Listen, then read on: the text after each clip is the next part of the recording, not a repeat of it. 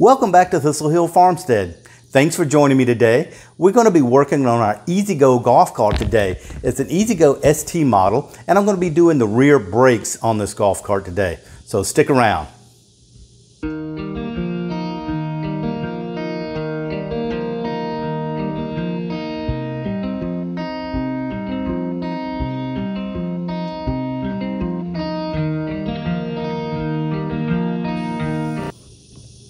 So here's our E-Z-GO golf cart. It's an E-Z-GO ST model. I'm not sure what year this is. We bought this little golf cart used and uh, I'm really not sure what year it is, but the brakes have gotten where they, uh, it'll still stop, but it's just really slow. So I'm not sure if it needs new brake pads on it or if it just needs the brakes adjusting or what the issue is but uh, we're going to take a look at it today. Uh, I do have new brake pads if it needs it, or if it just needs adjusting, we'll just uh, check it out and adjust the brake pads if that's all it needs and see if we can get it to stop a little bit better. So let's get going. The first thing I want to do is get it up on some jack stands so we can take the rear tires off. So let's do that.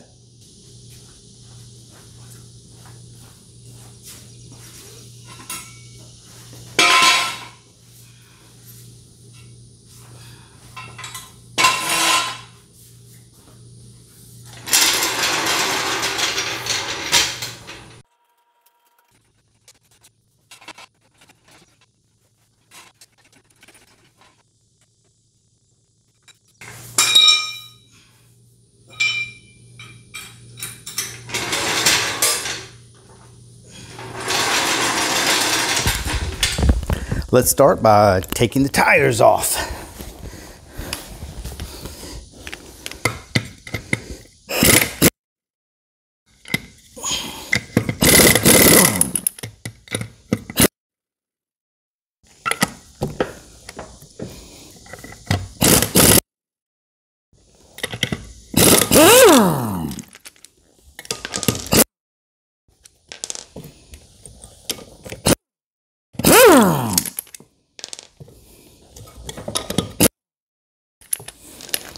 Okay. Tire number one.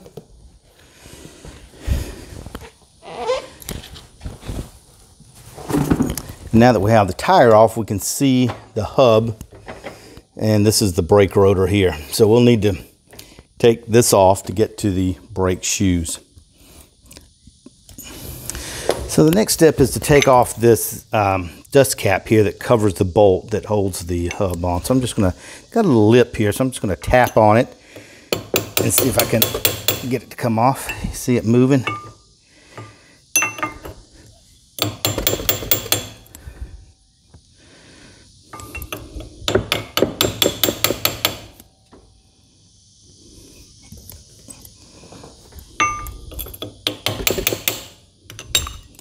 There we go. And that uh, reveals our castle nut and our Carter key and uh, our Carter pin. And we can pull that out and take this castle nut off and then the um, brake hub will come off. So let's see if we can get this Carter pin out.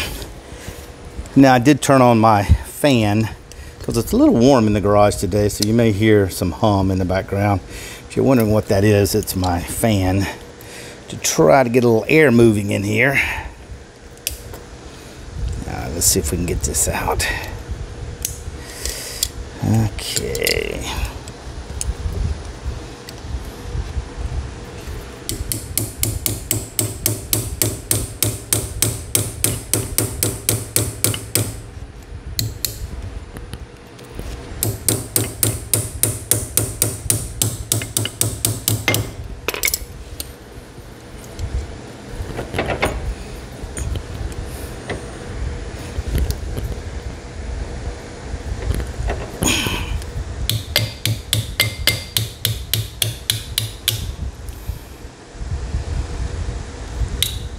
Go. Okay, got that bad boy out. Now we want to get this castle nut off here. So let's see if we get this castle nut off. And if you're wondering why it's called a castle nut, it's because it has these little grooves in it kind of look like the ramparts or the top of a castle. And those are meant to be able to uh, set your nut in a certain spot and then put a carter pin through it to lock it in place. So let's see what we get. Watch your ears here. Oh, okay. That wasn't bad at all. Okay, and then we've got a washer and this little dust cover here. And let's see how easy the hub is going to come off now. Well, first of all, I set the brake, the park brake, so I could spin this castle nut off. So the brakes are locked into the hub. So the next thing I have to do is release the park brake, and then that would allow the hub to come off.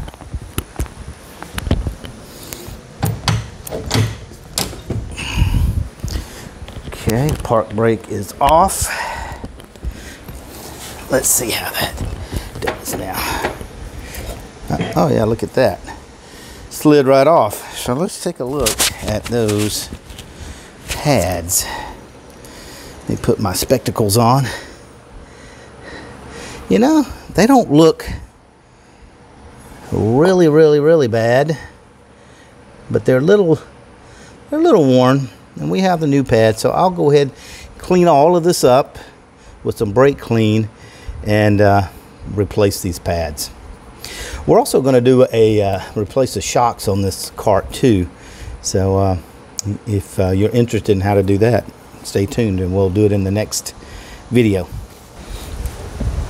so next I want to take the old brake pads out and what holds these in is there is two springs that hold the brake pads together. There's one here and one here. And then there's a little piston or lever at the bottom that spreads the brake pads out when you uh, press the brakes. Uh, and that's how these work. So uh, to get those out, I need to take these two retaining clips out and then we'll pull those off. So to get these retaining clips out, you just press in on this little clip and then you turn it. So let me see if I can do that with these pliers here.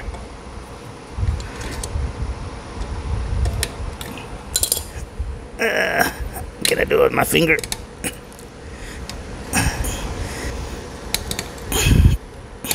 There we go. I was able to do it with my hand. And again, here's the uh, the rod that came out of the back.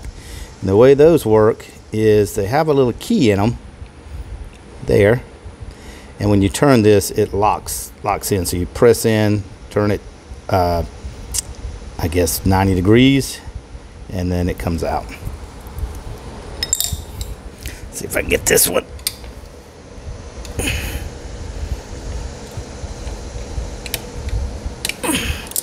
sometimes you have to hold the center because when you press back it wants to uh, push that pin back also. Or if you can get your hand behind like this and hold the pin. You could do it that way too. There may be some fancy smancy tool that is meant to do this, but uh, I don't have that fancy smancy tool. And I do see that that pin is pushing back as I push the uh, the uh, retaining spring in. So I'm going to try to hold it here on the side with a pair of pliers while I push that in. There we go. That worked. Oh, and there comes the, the shoes off. And you can see now that those have popped out of there. Let me get those out. But they are a little worn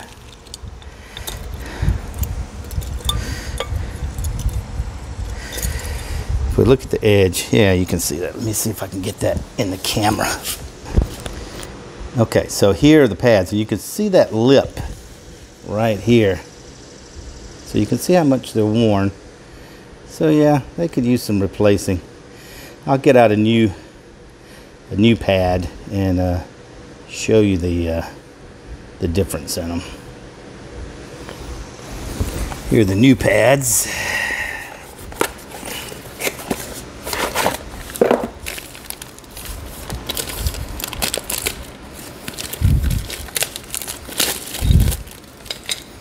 Okay, so let's compare the two. Here's the new one, and here's the old one. So you can see it's not it's not down to the metal by any means, but it's worn, and maybe these have gotten glazed a little bit. Here you see how shiny that is.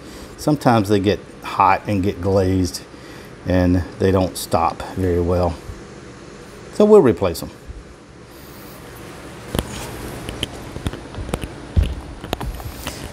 The next thing I want to do is clean this up a little bit. Um, I put a pan under here to catch uh, anything that's going to fall off and I have some brake clean and you just you can use the flavor of your choice and I did put some gloves on for this activity because this this brake clean can be kind of tough on your hands.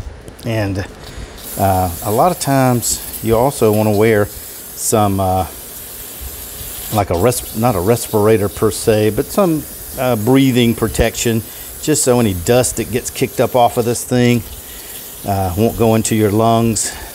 These, I don't believe, I don't think they really use asbestos that much anymore in the brake pads, but still, it's not good to breathe this stuff in.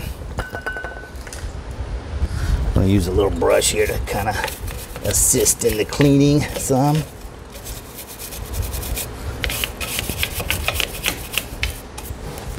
And being careful not to knock this stuff out here.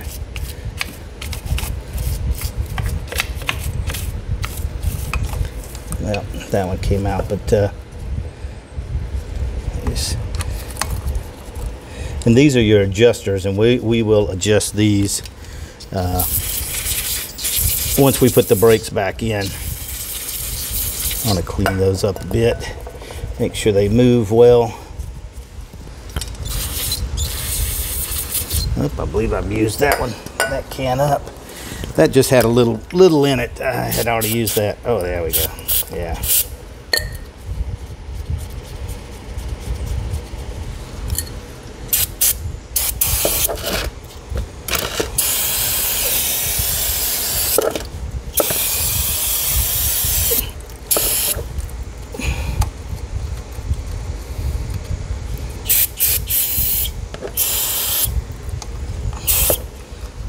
everything nice and clean so everything works nicely slides nicely.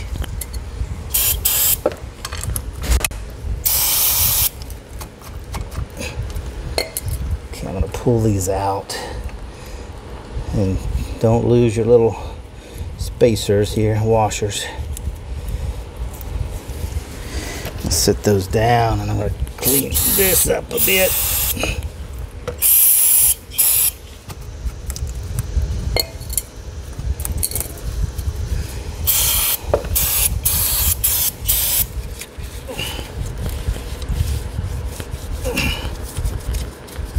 Whoa! See what I'm talking about? This stuff is eating my gloves up. There. Okay.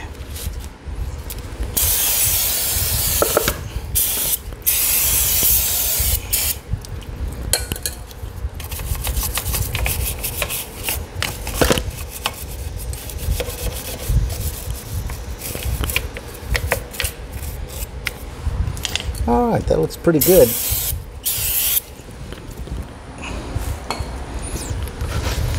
So here are the way the springs go back on. Remember, this is your top of your shoe here. You have three different size springs. You have a, a long one with two hooks. You have this kind of medium or short one with two odd looking hooks on the end. Then you have this uh, small one. The way these hook on is the big one goes on the top like that. The small one goes on the bottom like this and then this one goes like these two hook to the pad. But this one hooks to the pad on this end with this uh, small hook here. And this hook hooks over to the brake adjuster. So this goes in like this and then hooks to the brake adjuster. So let's see if we can get the pads back on now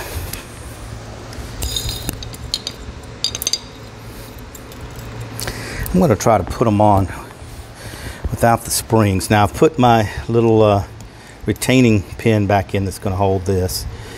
I'm going to put my new pad on. Remember, flat side goes to the top, this side goes to the bottom. Flat side goes right under here, and this one sits here. Now I'm holding this pin from the back side with my finger, and I want to line up the groove, press it down, and then just turn 90 degrees, and it locks it in. You just want to make sure that's locked in there. It is. So that's the first one. Now the second one, I can't get my hand behind here. There's no way to, uh, to get it behind. So I'm going to hold that with a pair of pliers while I put the pad on. And then when I put this pad on, I want to make sure that this bottom piece here is in this groove. See the groove on that adjuster there? So you want to make sure it's in the groove and then behind here. And then we can, I'm to hold this with my pliers so that it's sticking out far enough.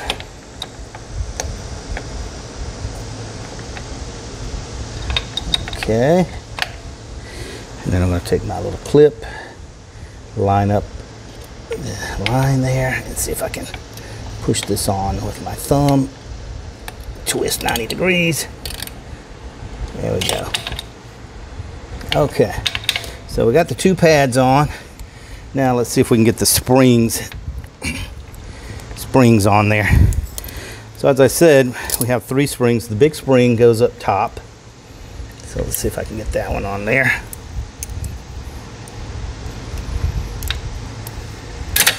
Oops, this is going to take a little bit of brute force.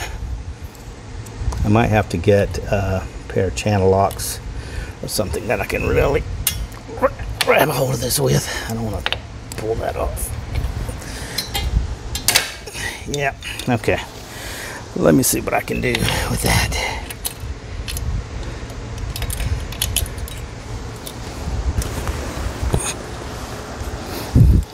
So let's see if we can get our springs on. I have a pair of channel locks here.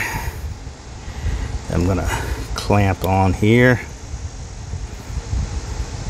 Try to make it easier to put these on. And then I'm just gonna pry this over with my screwdriver. Let's see if I can do this. Get it in there. There we go. So that'll stay in there good. Okay, this one needs to come out. There we go. I want to make sure they're they're uh, in behind all of the pieces. There we go so they're flat and not turned out like that. Okay, there we go. Nice and flat. So I brought you down closer so you can see. Now, next we want to put this little spring in. And I'm going to take it behind this one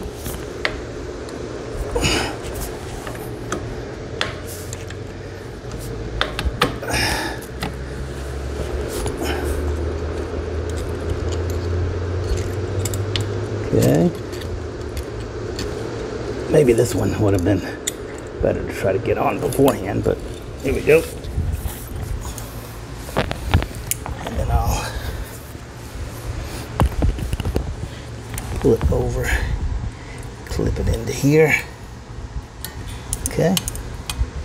So now we have our pads on there good, and then we need to uh, put the spring on for the uh, adjuster and that's this little spring it goes in behind here like this.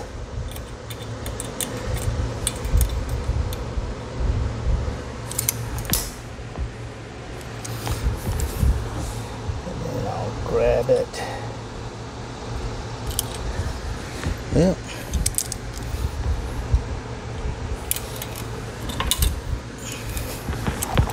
Easier said than done trying to stay out of the way of the camera too, which makes it a little more challenging. Here we go.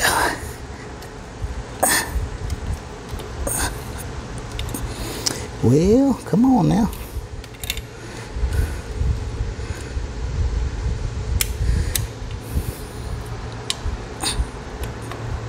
There we go. Okay. There we go. So, there's our new pads on with everything there. Now, I'm going to clean up the drum here a little bit and then we'll put it back together.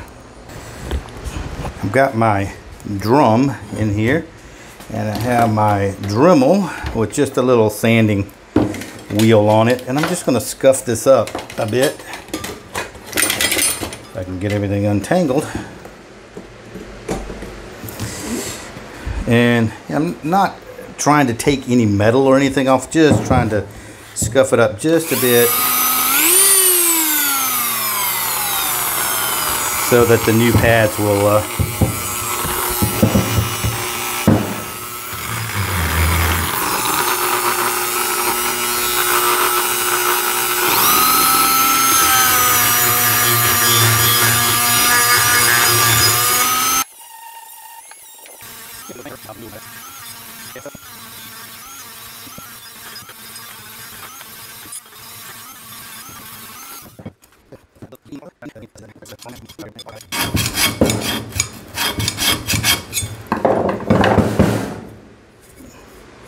Oh, that looks more better.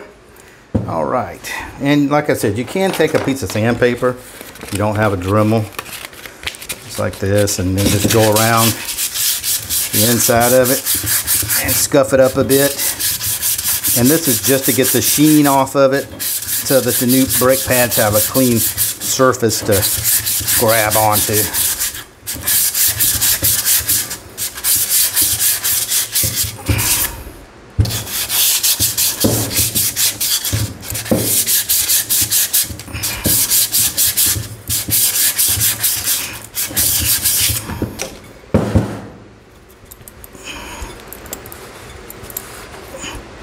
There we go, it looks better. So now I'm just gonna spray this with a little brake clean to get all that dust out of there.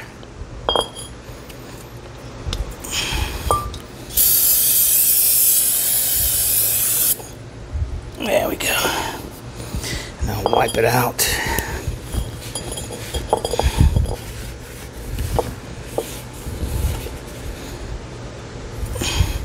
So you see that looks nice in there now for our new pads.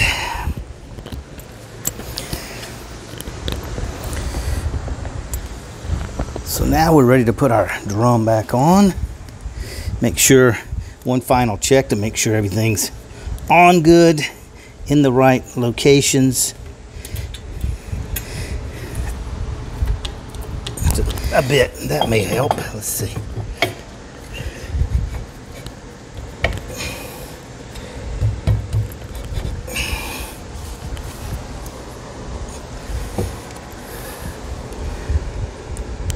Looks good on that one. How about this one? Okay, so I slid that down a little bit and now it's sticking out here. So I need to tap it up just a bit. Let me get my tapper. see if I can tap this one up. Just a, just a tad. See how that looks. I'm just feeling with my hand. There we go. There you go. So you see, you just got to work with it a little bit.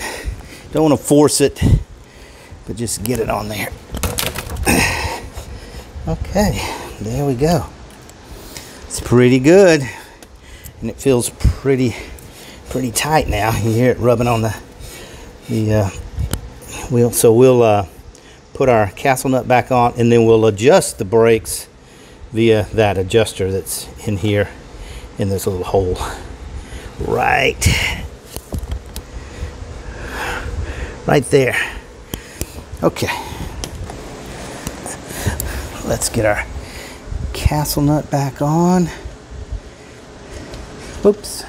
About to forget my dust cover plate and my thrust washer there. Washer.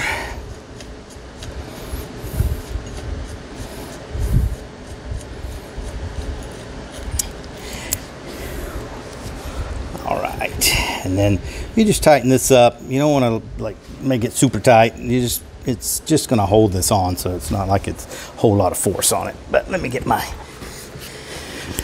my impact wrench. So what I'm going to do is set my impact wrench to the lightest setting and run this up. And then I'm going to look for my hole for the cotter pin see where it is it's right there so I could probably go a little bit more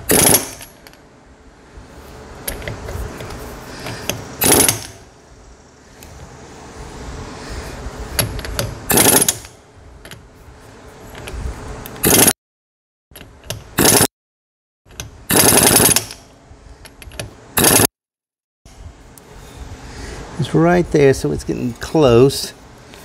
Let me give me one more little whacker here. Okay, there we go. Right there. Now the old Carter pin is okay. I have a box of, of new ones.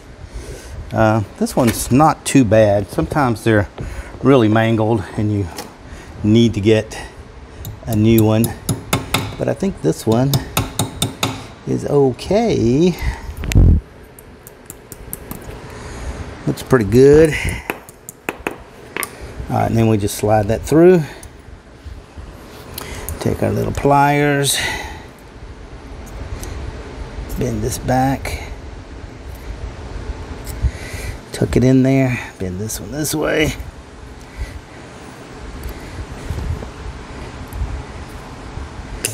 There we go. All right, and then we put our, all right, maybe that'll give me a better angle at it.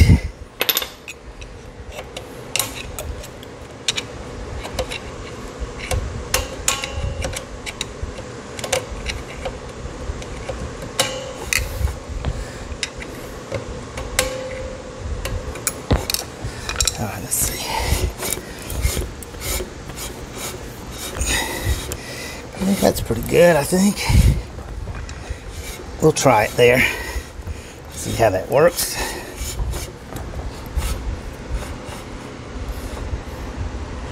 All right, we'll just leave it right there for now. Okay, tap this back on.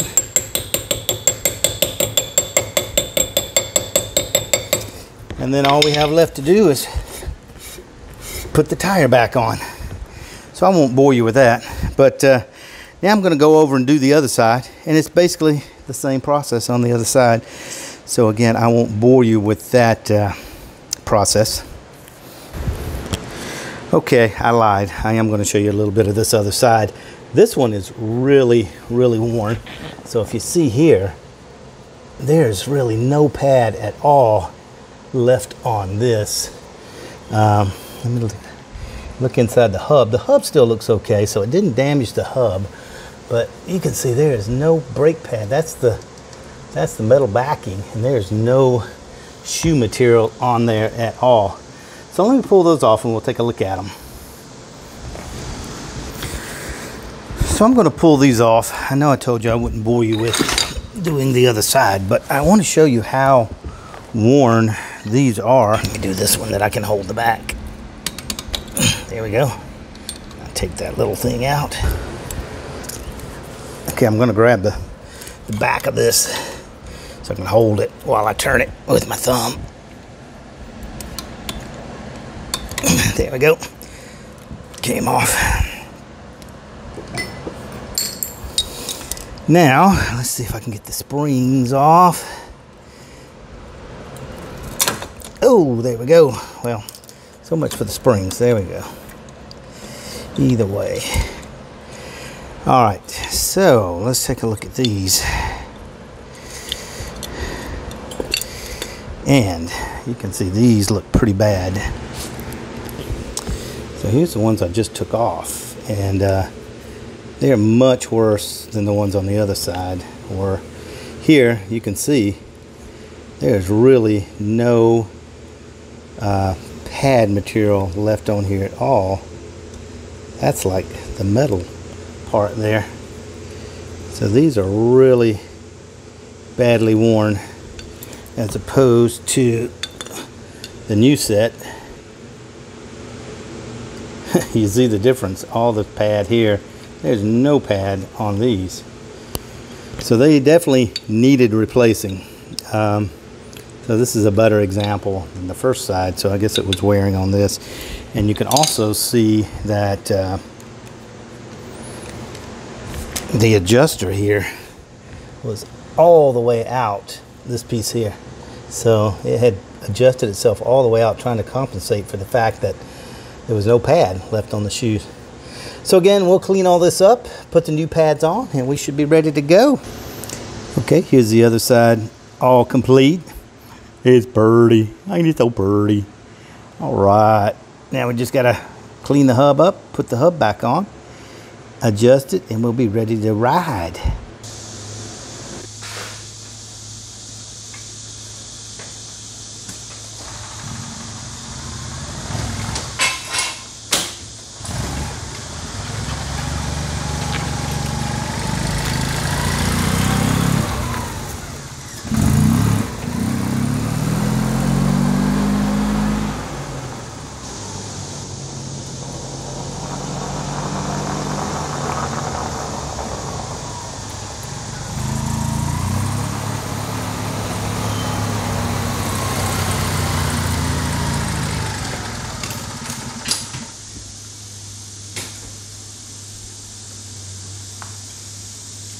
Hey, Charlie.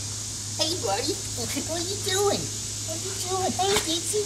Hey, baby. Hey, guys. What are you doing? Where you been? Where you been this whole time, huh? Where you been? Okay. Where you been? Dixie?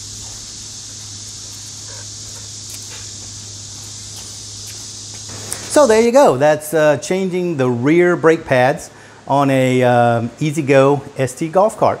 Wasn't too bad. Um, so if you found this video helpful, please give me a thumbs up. It really helps the channel. Thanks for watching and remember to subscribe if you want to keep up to date with all of our videos and ring that bell notification so that anytime I post a new video, you'll get notified. Thanks for watching. Join us again next time on Thistle Hill Farmstead.